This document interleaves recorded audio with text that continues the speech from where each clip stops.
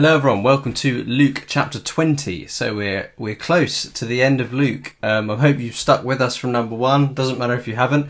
Uh, so this is a commentary on Luke 20. So hopefully there'll be a video now, and then we'll go into a bit of a more in-depth commentary on it. One day, as Jesus was teaching the people in the temple and preaching the gospel, the chief priests and the scribes with the elders came up and said to him,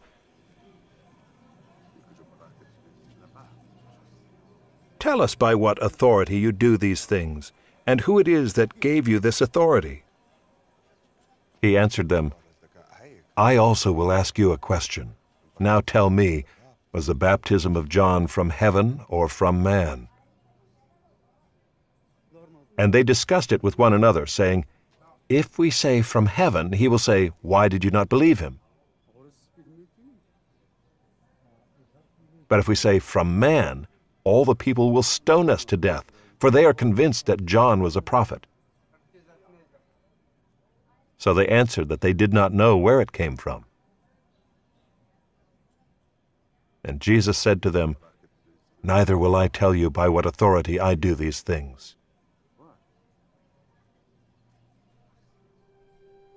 And he began to tell the people this parable. A man planted a vineyard and let it out to tenants and went into another country for a long while.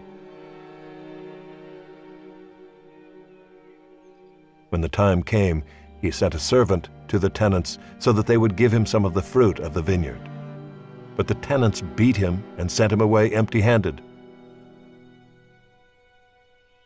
And he sent another servant but they also beat and treated him shamefully and sent him away empty handed.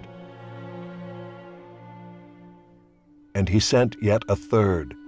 This one also they wounded and cast out. Then the owner of the vineyard said, What shall I do? I will send my beloved son. Perhaps they will respect him. But when the tenants saw him, they said to themselves, this is the heir. Let us kill him so that the inheritance may be ours.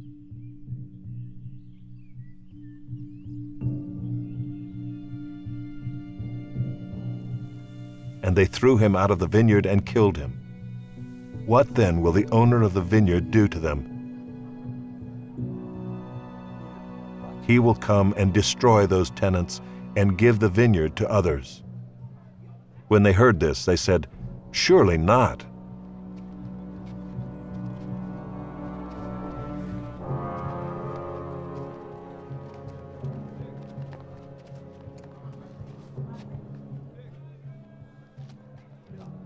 But he looked directly at them and said, What then is this that is written? The stone that the builders rejected has become the cornerstone. Everyone who falls on that stone will be broken to pieces, and when it falls on anyone, it will crush him. The scribes and the chief priests sought to lay hands on him at that very hour, for they perceived that he had told this parable against them, but they feared the people. So they watched him and sent spies, who pretended to be sincere, that they might catch him in something he said so as to deliver him up to the authority and jurisdiction of the governor. So they asked him, Teacher, we know that you speak and teach rightly and show no partiality, but truly teach the way of God. Is it lawful for us to give tribute to Caesar or not? But he perceived their craftiness and said to them, Show me a denarius. Whose likeness and inscription does it have? They said, Caesar's. He said to them, Then render to Caesar the things that are Caesar's, and to God the things that are God's.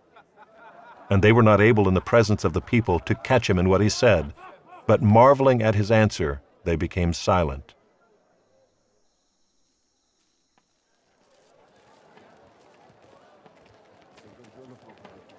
There came to him some Sadducees, those who deny that there is a resurrection. And they asked him a question, saying, Teacher, Moses wrote for us that if a man's brother dies, having a wife but no children, the man must take the widow and raise up offspring for his brother. Now there were seven brothers. The first took a wife and died without children, and the second and the third took her, and likewise all seven left no children and died. Afterward the woman also died. In the resurrection, therefore, whose wife will the woman be? For the seven had her as wife. And Jesus said to them, The sons of this age marry and are given in marriage. But those who are considered worthy to attain to that age and to the resurrection from the dead neither marry nor are given in marriage. For they cannot die any more, because they are equal to angels and are sons of God, being sons of the resurrection. But that the dead are raised, even Moses showed, in the passage about the bush, where he calls the Lord the God of Abraham, and the God of Isaac, and the God of Jacob. Now he is not God of the dead, but of the living, for all live to him.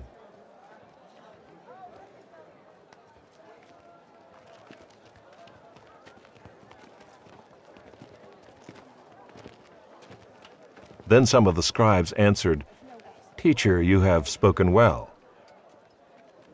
For they no longer dared to ask him any question. But he said to them, How can they say that the Christ is David's son?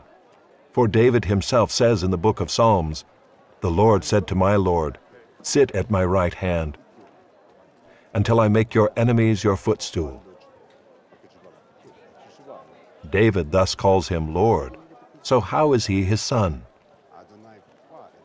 And in the hearing of all the people he said to his disciples, Beware of the scribes who like to walk around in long robes and love greetings in the marketplaces and the best seats in the synagogues and the places of honor at feasts.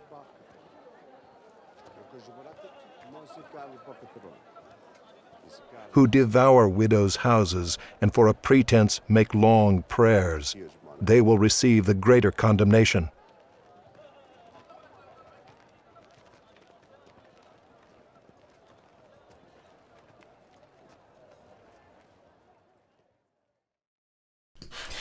So now we see Jesus teaching in the temple. So a common place, obviously, for Jesus to be ministering, to be teaching inside the synagogue. So what a sermon that would have been. We don't get what exactly what it is, but uh, notice how the scribes and Pharisees came to him. So he was teaching.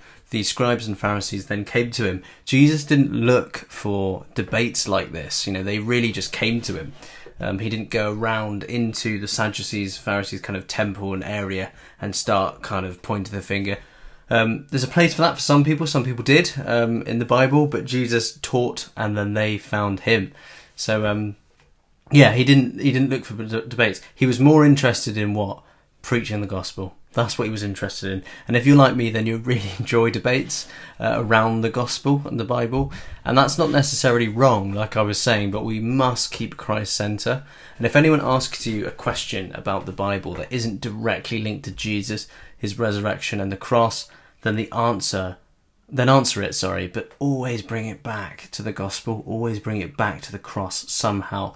That's the the crunch point. It's so important as this is what jesus always did and the gospel is what holds power. You know, people will always try and catch us out uh, or get us to answer questions that they really don't really care about but just enjoy debate. But the cross and the gospel will challenge them personally who do you say that Jesus is? Bring them back to Jesus. Bring them back to the gospel. Bring them back to the cross. Um, there's lots of ways that you can um, people can spark a debate, uh, especially non-Christians that just have nothing to do with the cross. Yes, it's in the Bible, but really, even if they came to understand your viewpoint, it wouldn't really lead them closer to Christ. So bring it back. Always bring it back. And if you remember, Jesus previously dro- drove out people from the temple. Say so the Pharisees have come to him asking, you know, in what authority do you do this? This is the first couple of verses. In what authority do you drive everyone out? What's going on? Um, as he needed, as if he needed a qualification to turf to turf out gamblers from a church. You know, that's what he did. People were gambling in the temple. He turfed them all out. And these Pharisees were, "How come you did that? What gives you authority to do that?" I mean, this is a church and they're gambling. But Jesus answered them with a question. And this wasn't him evading an answer like a politician, but it was the setup to what he really wanted them to think about. He told them, "Was John's was John's baptism a work of fiction or was it truly from God?" And he knew they couldn't answer this question, but I also uh, they also knew that actually their intentions were that of winning an argument as well, rather than seeking the truth. And Jesus knew that. This is why Jesus then said that he refuses to tell them who he is. You know, why would they care if he told them who he really was? You know, they were out to all they were out to do is win an argument and to get one over on Jesus. And Jesus had no time for this sort of debate and point scoring. He was interested in the gospel once again and those who were seeking truth properly. These scribes and Pharisees were not seeking truth. They were seeking to trap him, to debate with him, to kind of show off their elite scholarship of the work, all that sort of thing. He wasn't interested in any of that. You know, it's all that's folly. It was rubbish. I want to talk to the gospel. I want to be with people that are seeking me and actually want to talk to me and seek me. So that's why he was there, and that's what he was doing. Um, yeah, so when we come to Jesus in prayer, we should always remember to ask ourselves, you know, do I already know the truth? Do I already know the answer? Because I think the scribes didn't really want to hear the truth. They and I think that's similar to us sometimes. And it seems silly, but I prayed so many times, you know, and to Jesus about things that I already knew the answer to, but I just didn't want to face up to it. So this is exactly what the Pharisees did. They came not wanting to know the truth, but just wanting Jesus to say what they wanted him to say. Jesus is interested in revealing truth to people that are actually seeking truth not just seeking their own ambition. So we need to remember that when we come in prayer to Jesus as well. Do we already know it? Is it already written in the Bible? Is it already there? It's a bit like someone asking, you know, should, should I help that poor person you know, on, the, on the road? Oh, I'll just pray about it first. You don't really need to pray about it. It's in the Bible. Help. You know, there's lots of things in the Bible that I find a lot of people say, oh, I'll go home and pray about that. And it's like, well, actually, Jesus has already given you the answer, and it's in His Word, and it's written down for you. And I do it all the time. You know, I, I always say, you know, I've got to pray about that, or uh, I pray about something. And I know that it's not what God wants, but I pray about it anyway. Um, and that's wrong. You know, we should be seeking the truth. So if we come to Christ in prayer, we we should seek truth and do um, what He says, which is which is to seek truth and serve Him. So then we get onto the parable of the wicked tenants. This is very interesting. It's an interesting one. It basically says that the landlord rented out his vineyard to others for them to work it and profit from it. This was a generous thing to do and a very common practice in Jesus' time. After a while, the landlord sent a servant to collect some of the profit from the vineyard. Fair enough, he's, he's the guy that owns it. This would have been agreed when the landlord decided to rent out his field. Uh, the first two times he sent a servant, they beat him and sent him back empty handed. And on the third time, out of love for people, the landlord sent his only son, thinking, you know, they can't beat my son up, surely. Sent his son, they killed him. So they were very wicked tenants. So what was Jesus trying to say? He was trying to say that God is patient with people that openly and reject, openly reject and shame him. He is so patient with them and he sends his only son into the world to try and make a way back uh, to God. You know, he asked the Pharisees, Would you ever be like these tenants then? And in their pride, they said, Of course we wouldn't. We'd never do that sort of thing. And Jesus said, But the stone that is rejected will be the head cornerstone. And this is from Psalm 118. He is telling the Pharisees that he is the Messiah, that he is the Son of God, that he is the one and only Son the landlord sends and that he will be the one to be killed, and it will be them. He is actually saying the Pharisees are exactly like those tenants, that actually they will kill him, and the inheritance will not be passed down to them. The last line Jesus says is there, anyone who meets the cornerstone will be crushed. They will either meet with Jesus, i.e., you know, the cornerstone as saviour, being crushed under the weight of their own sin and realizing how much they've offended God, leading to true repentance. That's great. Or they'll be crushed by the cornerstone in rebellion, in their rebellion in hell. So he's saying, whoever meets me will be crushed by the cornerstone. You're either crushed as a Christian, knowing the weight of your own sin and coming into repentance, or you're crushed in hell in your rebellion. So he said directly to them, actually, you are like these tenants because I'm the son that's been sent by God and you're going to kill me. So they were furious, and naturally, the Pharisees became so angry at what Jesus said as he accused them of being ungodly and rejecting the Messiah. This is actually what they were doing, and they weren't seeking truth, like we said, uh, and believed Jesus wasn't the Messiah, and someone to, he was someone to be killed and mocked. So they knew they couldn't just kill him because he had a massive following, and they would all rise up against the Pharisees. So they sent people out to act like they were sincerely seeking truth to try to catch him out by asking some difficult questions. And the questions that were asked were Shall we pay taxes? So now, in this day and age, it's very easy, as the answer would be yes. You know, Christians should pay tax, pay their taxes. But during this time, the taxes that were taken from the Jews were absolutely extortionate. They would take massive amounts of money from the Jews and use it against them. So the question is very clever, as it's a trick question. If Jesus was to say, yes, we should pay our taxes, then they would say, aha, look at this man, Jesus, who works for Caesar and wants all of you to pay these ridiculously high taxes to fund Caesar's mission. But if he said, no, you shouldn't pay taxes, then the Pharisees would say, ah, look at this man breaking the law, shouldn't be. oh, inciting an uprising, are you? You know, it's an incredibly trick question. You can't say yes, you can't say no. And Jesus knew this. He knew these people were spies, just looking to trap him and get him killed. So he answered them in a very smart way by asking someone to present him a coin and asked them to identify the person on the coin. Give me the coin, who's that? They said, well, Caesar. Because Caesar's head was on the coin. Someone said, yeah, so Caesar's there. Well, what's your point?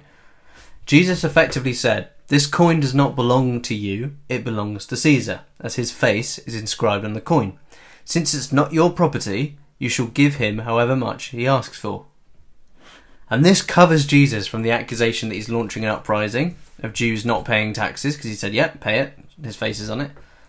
But the next bit, he says, covers him against being seen as a traitor to the Jews. He says, Render to God what is God's.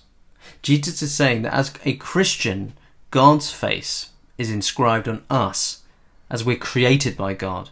Therefore, we must do the will of God, and God can ask us to do anything, and we should do it as we're not our own. Our citizenship is in heaven. Yeah, what a fantastic answer that is.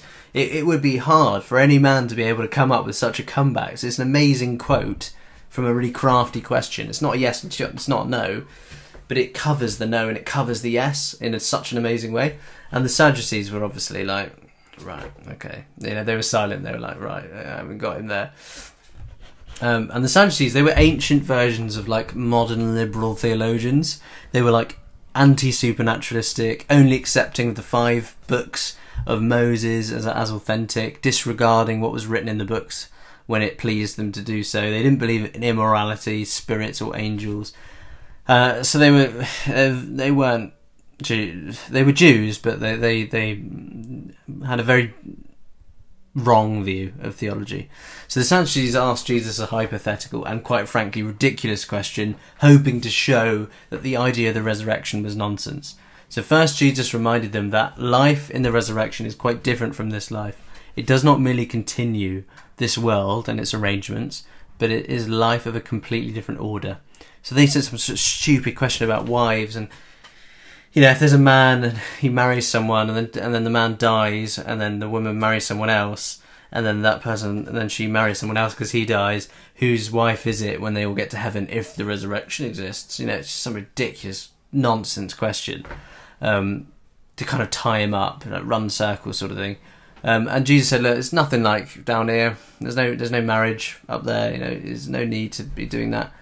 Secondly, Jesus reminds us that life in heaven is eternal and shares some characteristics of the existence that angels now experience, though they will be ever greater than angels, being called sons of God and sons of the resurrection, and these are titles not given to angelic beings in the New Testament.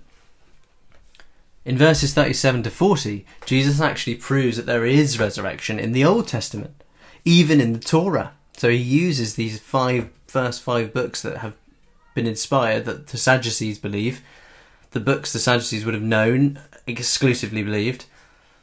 If Abraham, Isaac, and Jacob did not live on in resurrection, then God could not say that he is the God of Abraham and would instead say, I was the God of Abraham.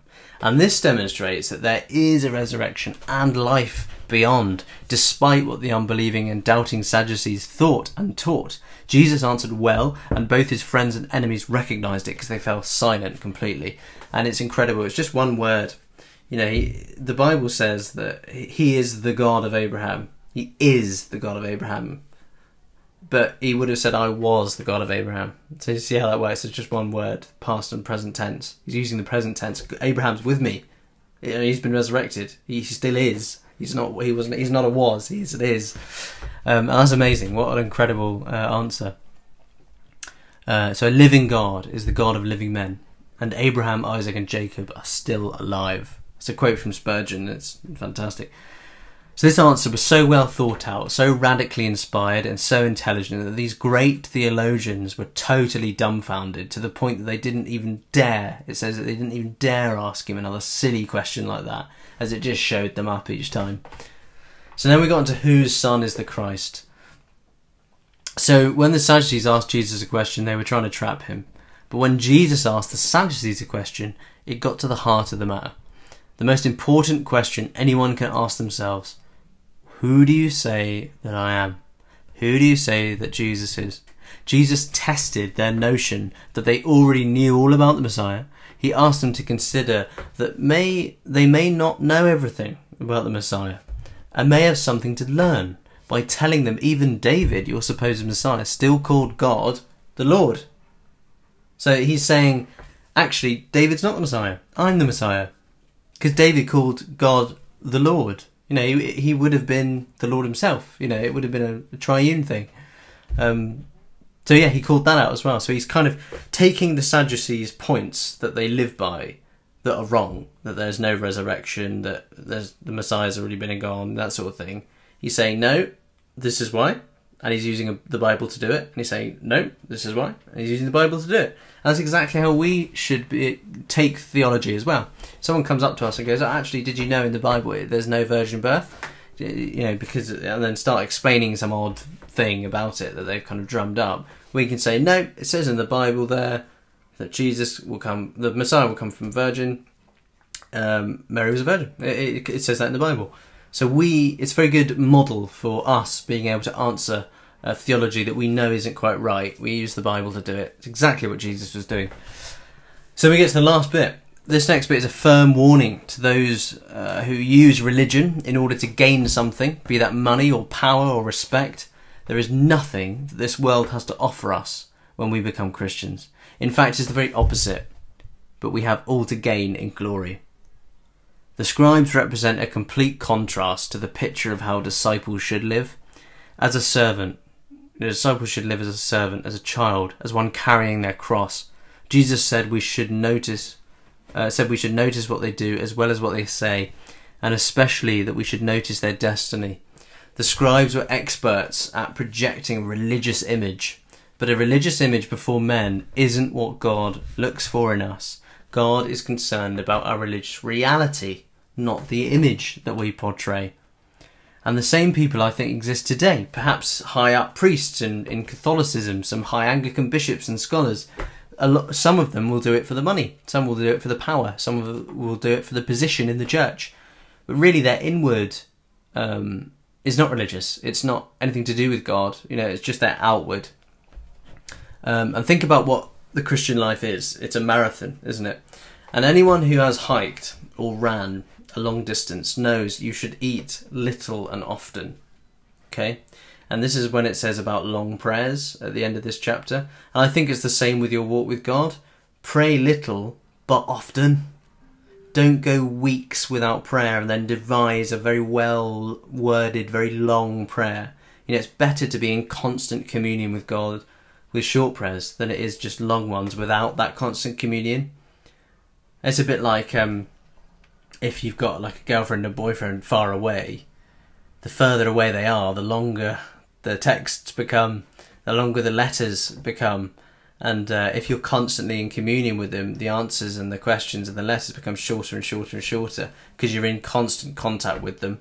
And that's how it should be with God. And the scribes obviously weren't in constant contact with God because they loved saying huge long prayers, and all the commoners would go, "Oh, how religious they are!" You know, it's absolute nonsense, really. Um, and it says that there'll be a special place in hell for them. To be honest, it says right at the end um, of the chapter they will receive greater condemnation. So these people using religion, using true religion, Christianity, um, as a way of respect among people and money and power, there will be greater condemnation for these sort of people. So we've really got to check ourselves. Are we doing this for God or are we doing this for us? Because there's greater condemnation involved. So keep checking. Work out your your salvation with fear and trembling. Is uh, is the kind of overarching thing for that last bit. So that's chapter 20. Sorry, it's a bit shorter today, a bit rushed. Um, but I just want to go on to 21 as quick because it's it's so good. Um, Jesus foretelling the destruction of the temple and uh, watching ourselves and the lessons of the fig tree and such. Brilliant chapter. So um, I'll be with you next week, I hope, for the next one, uh, chapter 21. There's only 24 verses in Luke, so we're nearing, nearing, nearing the end. Um, so I hope you enjoyed it and I hope you've got something out of it. Leave a message down the bottom give me a text, um, whatever you like, and uh, we'll be able to talk more about Luke. So um, I'll see you next week.